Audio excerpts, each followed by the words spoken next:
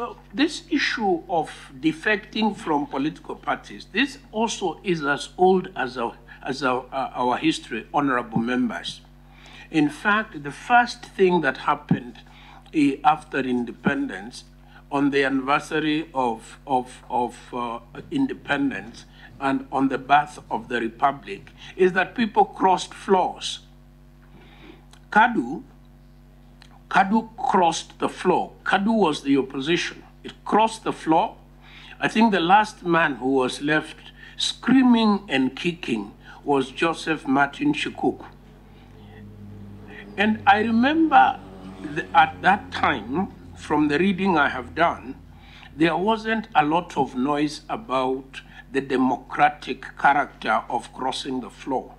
But in 66, when, K, uh, when KPU uh, uh, was formed and KPU crossed the floor, the very erudite uh, Joseph Thomas Mboya was very, very, very critical. He was saying to cross the floor is to lose the mandate of the party that elected you. Now, and I have a, I, I have a sympathy. Yes, please. I have sympathy for that. I think that uh, we should have in law mechanisms of containing uh, persons to the parties uh, uh, uh in uh, to the parties on whose platform they were elected. So that's my opinion on that. Now, let, what is the last issue? It's not clear. Sorry. Yeah. Just uh, make it clear. What is your position on that?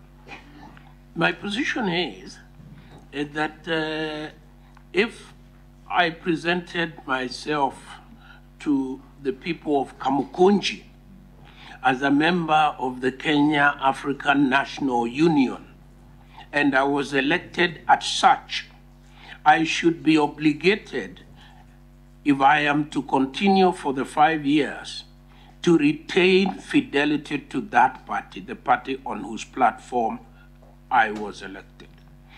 If I crossed the floor and became, uh, in fact, and voted with and became associated with the Kenya African Democratic Union, then I should vacate my seat and a by-election should be held. That's my opinion. It is not a popular opinion, I know, among uh, politicians.